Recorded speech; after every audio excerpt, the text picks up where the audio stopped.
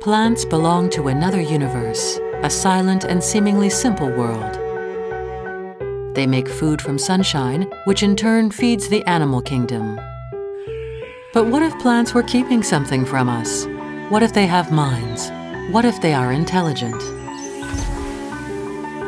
Scientists are asking these very questions. Do they perceive their environment? Do they have a memory? Could they have a nervous system? To these men and women, the great divide between the plant and animal world is not that great at all.